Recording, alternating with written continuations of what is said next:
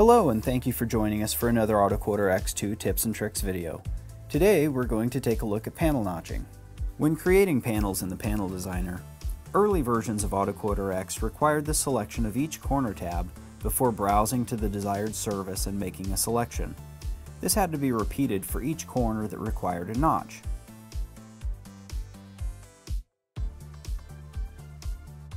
Newer versions of AutoQuoter X2 allow you to start the panel designer, select a corner and service, then use the arrow keys on the keypad to copy the service to the next tab.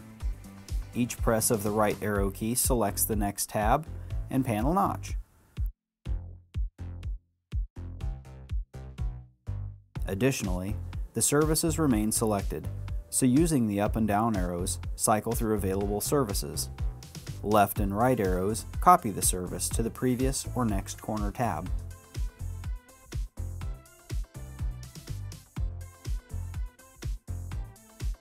Hopefully you have found this AutoQuoter X2 tip on panel notching helpful. For more information, please visit 8020.net.